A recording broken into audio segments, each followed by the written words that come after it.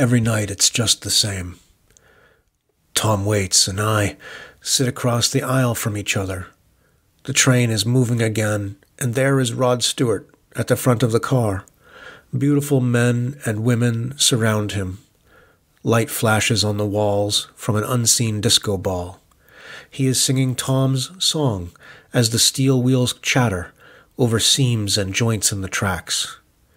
Is it like this every night, I want to ask, when I see Tom watching, face smoothed of emotion? But I know we all ask this question Will I see you tonight? Equal shares of hope and fear as the you is filled in with approaching faces and names like stops on the downtown train.